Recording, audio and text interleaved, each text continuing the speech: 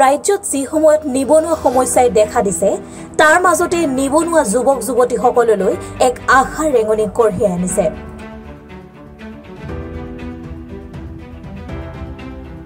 যিহেতু অসম আৰক্ষী বিভাগত বহু চাকৰিৰ নিযুক্তিৰ বাবে হ'ব লগা পৰীক্ষাত বহু যুৱক যুৱতীয়ে আবেদন কৰিছে। শাৰীৰিক পৰীক্ষাৰ বাবে যথেষ্ট পৰীক্ষাৰ্থী সাজু হৈ উঠিছে।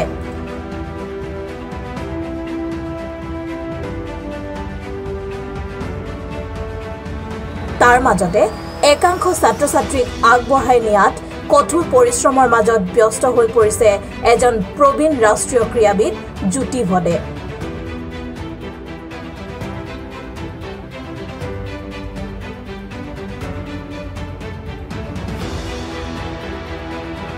তেখেতে এমাহৰ পৰা যুৱক যুৱতীসকলক খেলপথাৰত প্ৰশিক্ষণ প্ৰদান কৰি আছে। উক্ত বিষয়টোৰ ওপৰত অৱগত হৈ টেঙাখাট আৰক্ষী থানাৰ ভাৰপ্ৰাপ্ত বিষয়া ৰিতুলমণি দাসে নিজৰ কৰ্তব্য আৰু ব্যস্ততাৰ মাজতো আহি প্ৰশিক্ষণথলীত যুৱক যুৱতীসকলক উৎসাহ জনায়।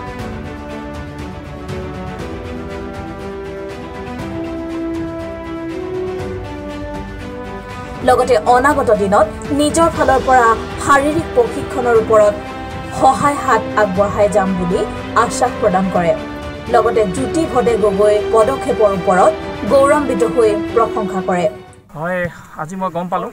আমাৰ ইয়াতে উদীয়মান যুৱক আৰু প্ৰবীণ ক্ৰীড়াবিদ তেখেতে জ্যোতি ভদে। তেখেতে মোক জনাইছিলে যে আমি যিহেতু ছেপ্টেম্বৰ অক্টোবৰ মাহত আমাৰ অসম পুলিচত যিখিনি ল'ৰা ল'ব আমি সেইখিনি অলপ প্ৰশিক্ষণ দিয়াব লাগে। আৰু বিশেষকৈ তেখেতে এই ক্ষেত্ৰত লাগি আছে আৰু ময়ো গম পালোঁ বহুত ভাল পালোঁ। আৰু মই উৎসাহিত কৰিবলৈ আজি ফিল্ডলৈ আহিলোঁ।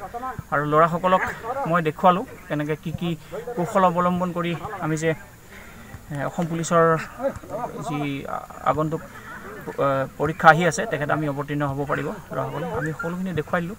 দৌৰাৰ কৌশল দেখুৱালোঁ জাম মৰাৰ কৌশল দেখুৱালোঁ।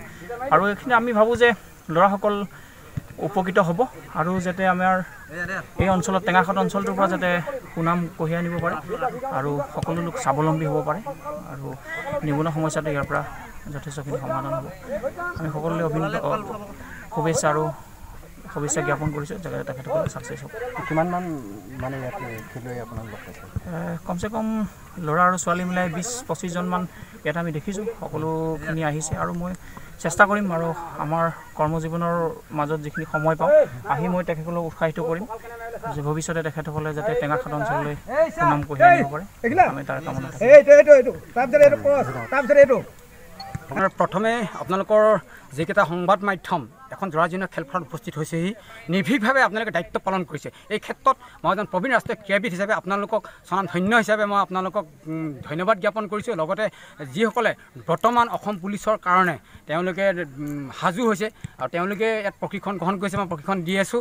গতিকে তেওঁলোকৰ ফালৰ পৰাও মই আপোনালোকৰ চেনেলকেইটাক মই ধন্যবাদ জ্ঞাপন কৰিছোঁ। যিমানটো বাৰু মই চেষ্টা কৰিছোঁ আৰু এই ক্ষেত্ৰত মই অসমৰ এজন নিৰ্ভীক পুলিচ বিষয়া নিতুল কুমাৰ দাসক বিশেষকৈ ধন্যবাদ দিব লাগিব যে তেখেতে এনেধৰণৰ এচাম নতুন প্ৰজন্মক যে কৰ্মসংস্থাপন দি স্বাৱলম্বী কৰিবলৈ এখন জৰাজীৰ্ণ খেলপথাৰত উপস্থিত হৈছে। হয়তো তেখেতক কি বুলি আখ্যা দিম প্ৰবীণ ৰাষ্ট্ৰীয় ক্ৰীড়াবিদ যে অসমৰ এজন শংকৰ মাধৱৰ দৰে তেখেতে ইয়াত আদৰ্শ প্ৰদান কৰি গ'ল বুলি এই খেলপথাৰৰ পৰা মই তেখেতৰ ওচৰত নেদেখাজনৰ ওচৰত মই প্ৰাৰ্থনা কৰিছোঁ। আমি আশা কৰিছোঁ তেনেধৰণৰ এ, প্ৰশাসনিক বিষয়ে যদি এনেধৰণৰ উঠি অহা নতুন প্ৰজন্মৰ প্ৰতি উৎসাহ উদ্দীপনা আদৰ্শ যোগাই যায় তেতিয়াহ'লে আমি ভাবিছোঁ যি জ্বলন্ত সমস্যা এই সমস্যাবোৰ সমাধান হৈ যাব। লগতে এই নিবনুৱাসকল কৰ্মসংস্থাপনৰ স্বাৱলম্বী হ'ব হ'ব অসমৰ যি জয়যাত্ৰা সেই জয়যাত্ৰাৰ মুখ দেখিব। আজি কিমান মান আপোনালোকে ইয়াত খেলুৱৈক মানে প্ৰশিক্ষণ দিছে? মোৰ সৰ্বমুঠ পঁচিছ আছে তাৰ ভিতৰতে ছোৱালী সাতগৰাকীমান আছে। বিশেষ বতৰ ডাৱৰীয়াৰ কাৰণে তেওঁলোকে উপস্থিত হ'ব পৰা নাই। আৰু বাকী আৰু আঠজনমান ল'ৰা বিশেষকৈ বতৰৰ অসুবিধাৰ কাৰণে অহা নাই। অহা কাইলৈ সম্পূৰ্ণ হৈ উঠিব। যিহেতু মই এসপ্তাহ ধৰি এই প্ৰশিক্ষণ লৈ আছোঁ। মই আশা কৰিছোঁ যিমান দূৰ পাৰোঁ এইসকল যুৱ প্ৰজন্মক মই আগবঢ়াই নিয়াটো বিচাৰিছোঁ। লগতে সুস্বাস্থ্য কামনা কৰিছোঁ যে ক্ৰীড়াৰ শিক্ষাৰ অপৰিহাৰ্য অংগ। কেৱল আমি যে দৌৰ মাৰি এই পুলিচৰ চাকৰি ল'ব লাগে সেইটোৱে নহয় আমি সুস্বাস্থ্য হিচাপে গঢ়ি তুলিবলৈ হ'লে আমাৰ ক্ৰীড়াটো অপৰিহাৰ্য অংগ। কাৰণ ক্ৰীড়াৰ অবিহনে আমি সম্পূৰ্ণ শিক্ষা আহৰণ কৰিব নোৱাৰোঁ সাংস্কৃতিক দিশতো আমি আগবাঢ়ি যাব নোৱাৰোঁ সুস্বাস্থ্যই হ'ল মানৱ দেহৰ অপৰিহাৰ্য অংগ। আৰু এই সুস্বাস্থ্যই চিকিৎসাৰ ক্ষেত্ৰত যথেষ্ট অৰিহণা আছে বুলি ভাবোঁ। যিহেতু আমাৰ যদি অসুখ এটা হয় চিকিৎসাৰ কাষ চাপিব লগা হয় তেতিয়া আমাৰ সু- স্বাস্থ্যটো যদি শক্তিশালী হৈ নুঠে তেতিয়াহ'লে চিকিৎসকসকলে সেই ৰোগৰ পৰা আৰোগ্য কৰিবৰ কাৰণে যথেষ্ট কষ্ট কৰিবলগীয়া হয়। যদি স্বাস্থ্যটো শক্তিশালী হৈ উঠে তেতিয়াহ'লে চিকিৎসকসকলৰ কাৰণে এই ক্ৰীড়াবিদসকলৰ পৰা যথেষ্ট তেওঁলোকে সাহস যোগোৱা হয়। টেঙাখাটৰ পৰা ত্ৰিদীপ চুতীয়া ৰিপৰ্ট অসম টুডে। ডিব্ৰুগড় জিলাৰ ৰাজগড়স্থিত এক নিৰ্ভৰযোগ্য আৰু বিশ্বাসযোগ্য প্ৰতিষ্ঠান হৈছে এম কে ময়ূৰ ষ্টীল ইয়াত সকলো ধৰণৰ উন্নত মানদণ্ডৰ ষ্টীল আৰু কাঠৰ ফাৰ্নিচাৰ উচিত মূল্যত পোৱা যায়।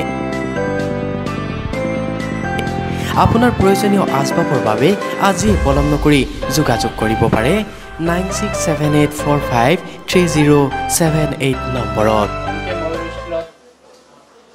আপোনালোকৰ সুবিধা অনুযায়ী ভাল ভাল কোৱালিটিৰ গডৰেজ শ্বকেছ ডানলপ ইত্যাদি সামগ্ৰী পোৱা যায়।